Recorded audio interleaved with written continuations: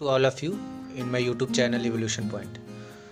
So in our previous video we have already discussed about some important theory uh, theories of evolution organic evolution जिसमें हमने ये Lamarck theory and the supporters of Lamarck theory के बारे में पढ़ा है जिसको आप uh, मेरे चैनल पे जाकर के देख सकते हैं आज हम लोग अनदर इंपॉर्टेंट थ्योरी की बात करेंगे uh, जिन्होंने सपोर्ट किया था एवोल्यूशन को किस तरह से ऑर्गेनिक एवोल्यूशन हुआ है, जो जीवधारी हैं, वो जन्म लेते गए और फिर उन्हीं के साथ साथ मीन्स उनके ओरिजिन के साथ साथ ही उनका कैसे उनका एवोल्यूशन हुआ है, इन सारी बातों को हम लोग कंटिन्यू करेंगे। सो प्लीज़ वीडियो के अंत तक बने रहें और अगर अभी तक आपने चैनल को सब्सक्राइब नहीं किया है तो हमारे साथ जुड़ने के लिए प्लीज़ चैनल को सब्सक्राइब करें और लाइक बटन दबाना ना भूलें। तो चलिए कंटिन्यू करते हैं।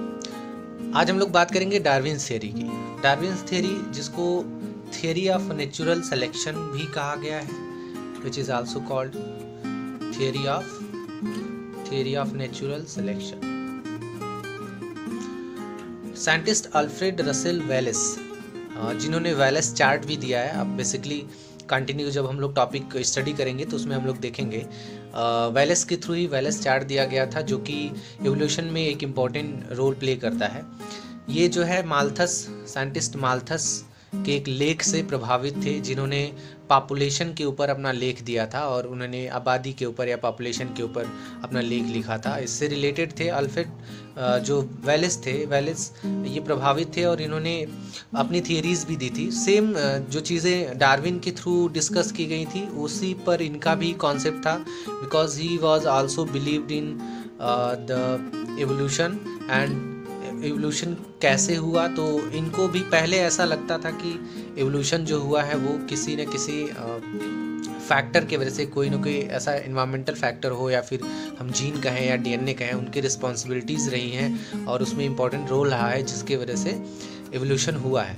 तो बात हम लोग करते हैं चार्ल्स डार्विन की। तो जैसा कि मैंने आपको पहले बताया कि रसेल वेलेस और डार्विन की जो थिंकिंग्स थी वो सेम थी। इंपॉर्टेंट हम लोग चार्ल्स डार्विन की बात करते हैं यहाँ पर क्योंकि ये ज़्यादा इम्पोर्टेंस रखते हैं। बेसिकली यहाँ पर डार्विन जिनका टाइम पीरियड रहा है 1809 से अठारह सौ बयासी के बीच में 1809 टू 1882 इनका जो टाइम पीरियड लाइफ स्पैन था जिसमें इनका जन्म हुआ और 1882 में इनकी मृत्यु हुई। 12 फरवरी 1909 को इनका जन्म हुआ था। शुभ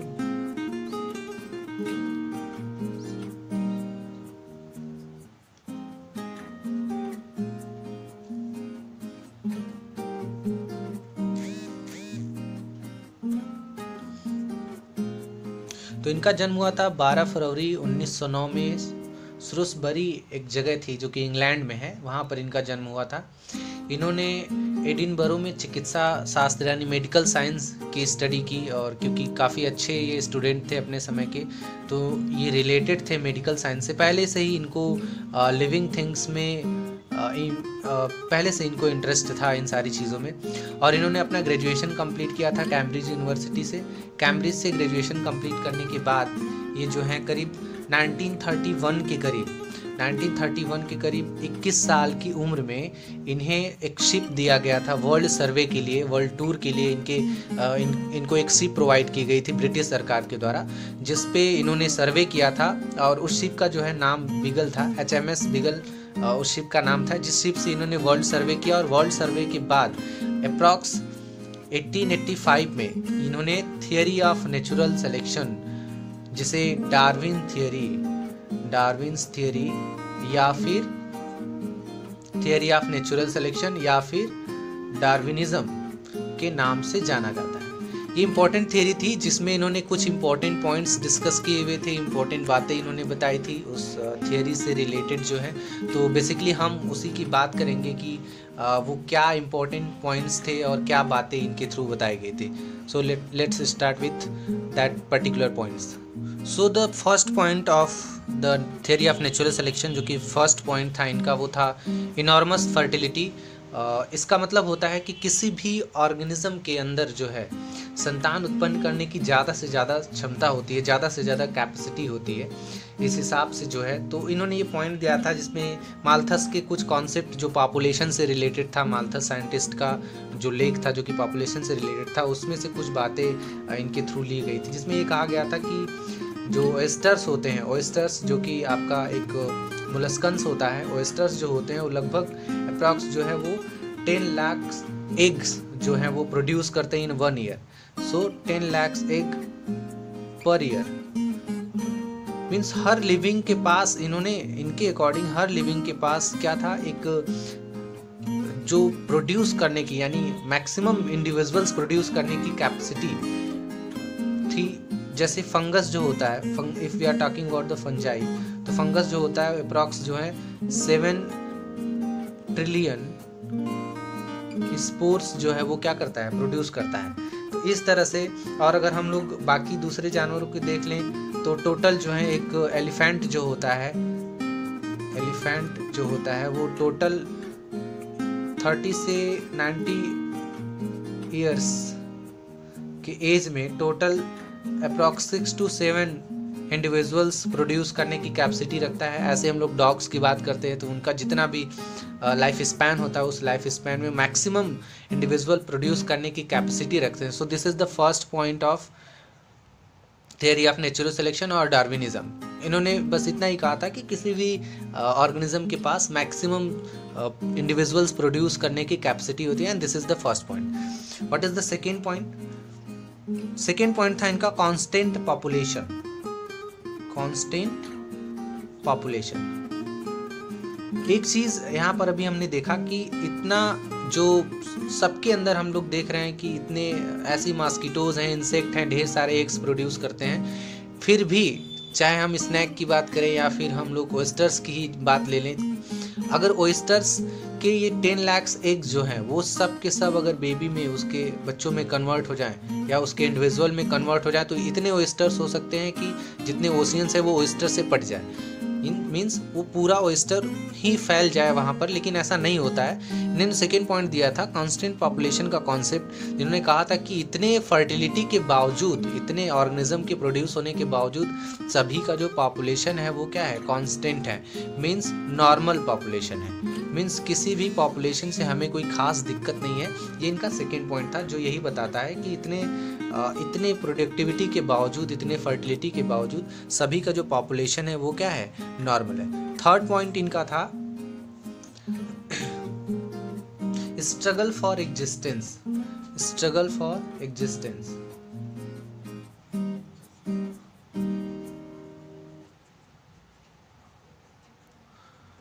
ये जो कि मोस्ट इंपॉर्टेंट पॉइंट था इस थ्योरी का, और इन्होंने कहा था कि कोई भी ऑर्गेनिज्म जो होता है, वो अपने एग्जिस्टेंस के लिए, अपने सर्वाइवल के लिए हमेशा क्या करता है?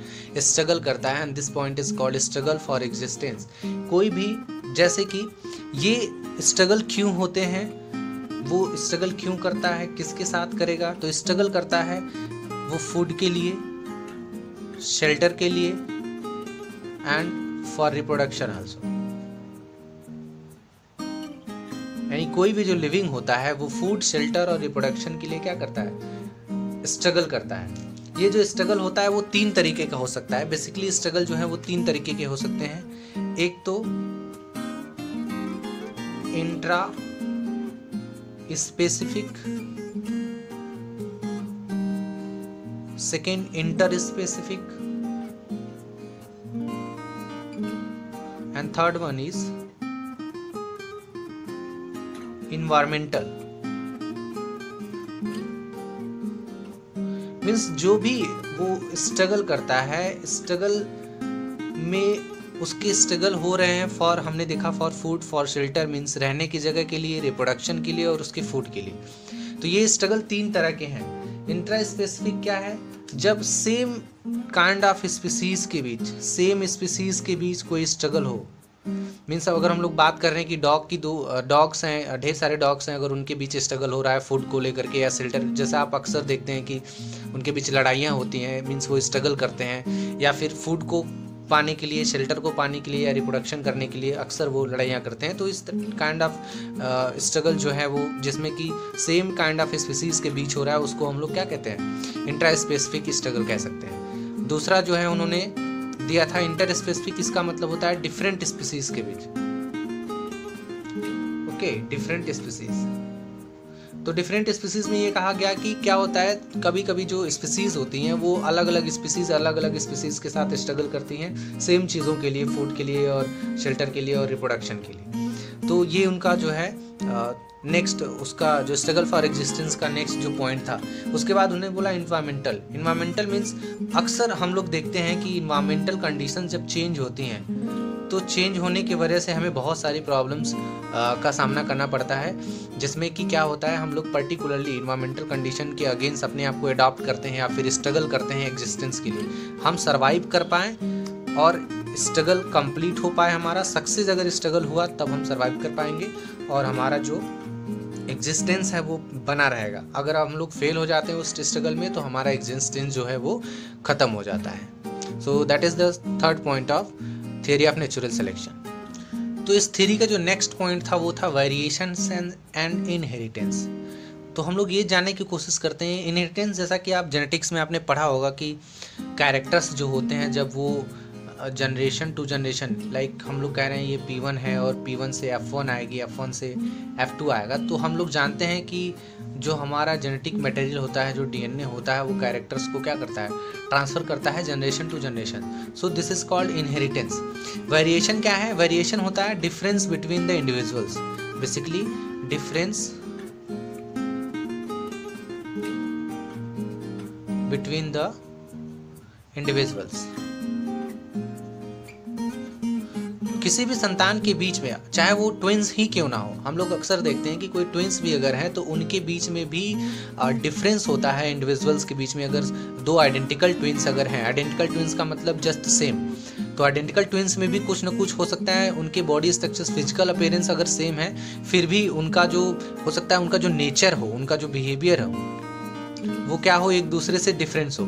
तो इस वजह से ये ये जो वेरिएशंस होते हैं, दो इंडिविजुअल्स के बीच में जो वेरिएशन होते हैं, वो हमेशा इनहेरिटेड होते हैं। मीन्स ये वेरिएशन जो होता है, वो इनहेरिटेड होता है और ये भी कहीं ना कहीं बहुत बड़ी रिस्पॉन्सिबिलिटी रखता है अकॉर्डिंग टू डार्विन कि वो नई स्पीसीज का क्या करे फॉर्मेशन करे। जो नेक्स्ट पॉइंट था which is the most important point जो कहा गया था survival survival of the fittest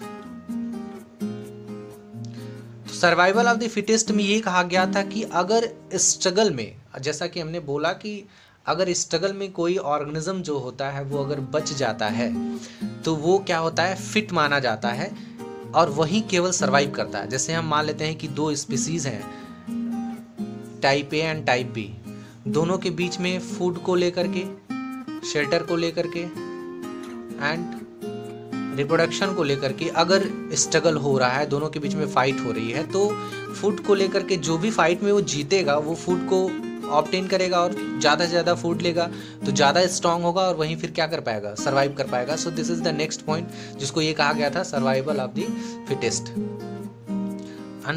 next another next point of the theory is next theory थी नेचुरल सेलेक्शन क्योंकि इस थियरी का नाम भी नेचुरल सेलेक्शन ही है। जिसमें हम लोग एक इन्वायरमेंटल एडाप्टेशंस की हम लोग बेसिकली बात करते हैं तो यही मोस्ट इंपॉर्टेंट पॉइंट यही है एडाप्टेशंस जिनकी हम लोग बात करते हैं।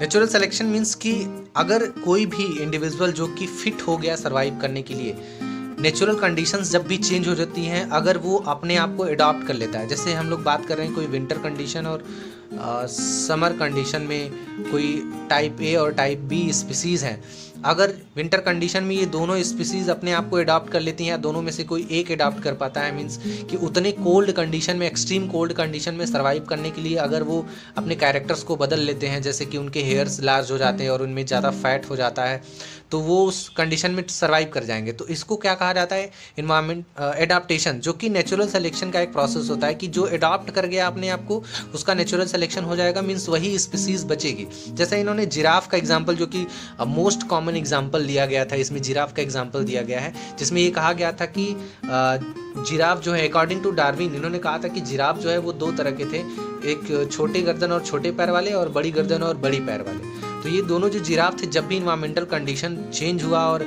जब इन्वायरमेंटल कंडीशन चेंज होने की वजह से जो ग्रासेस थी, वो जब डैमेज हो गई तो उनको टोटली जो है वो डिपेंड होना पड़ा ट्रीज़ के ऊपर। तो जब वो ट्रीज़ के ऊपर इनको डिपेंड होना पड़ा तो अपने फ़ूड को ऑप्टेन करने के लिए जिसके पास कैपेबिलिटी थी, क्योंकि जिसकी नेक और फोर लिम्स फोर लिम्स जो है वो ज़्यादा लंबे थे, ज़्यादा लॉन्ग थे लेंथ ज़्यादा थी उसकी अगर गर्दन की और उनके अगले पैर की तो वो तो ट्रीज से पत्तों को खा करके और बाकी चीज़ों को खा करके सर्वाइव कर गए। मीन्स उनका नेचुरल सिलेक्शन जो हो गया, वो परफेक्ट हो गया, क्योंकि उनके अंदर क्या देखी गई? एडाप्टेशन देखी गई। तो वही जिराफ रह गए आज के समय में ज़िंदा।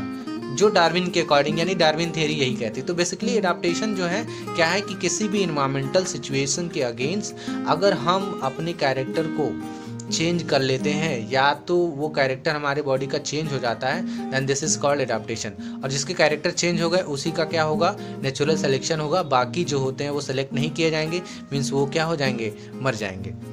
And the last one is which is the another important point of the theory of natural selection जिसको कहा गया ओरिजिन ऑफ़ न्यू स्पीसीज ये कहा गया कि इन सारे पॉइंट्स की वजह से, यानी इन सभी फैक्टर्स की वजह से अगर कोई लिविंग जो है, कोई लिविंग अगर सरवाइव कर गया तो वो जो लिविंग है, उसके कैरेक्टर्स इतने चेंज हो जाते हैं, उसमें इतना जेनेटिक चेंज हो जाता है कि उसके कैरेक्टर्स के चेंज होने पर वो न्यू स्पीसीज की तरह बिहेव करता है। और इस तरह से उन्होंने बताया कि स्पीसीज जो है डिफरेंट काइंड ऑफ़ स्पीसीज जो है डिफरेंट टाइम पीरियड में और अलग अलग जगहों पर डिफरेंट स्पीसीज़ का ओरिजिनेशन हुआ और इस तरह से जो है, उन्होंने अपनी बात को प्रूव किया। अलग अलग एग्ज़ाम्पल लेकर के अलग अलग उन्होंने कई सारे बर्ड्स के एग्ज़ाम्पल लिए थे और बाकी चीज़ों के एग्ज़ाम्पल उन्होंने लिए थे। तो इस तरह से ये जो है आपकी पूरी थ्योरी जिसके बारे में हम लोगों ने पढ़ा आई होप कि आपको पसंद आई होगी। अगर वीडियो के बारे में आपकी कोई भी राय हो, कोई भी बात तो आप प्लीज़ कमेंट में ज़रूर बताएँ। और thank you for the watching Please like, share and subscribe my channel for more videos.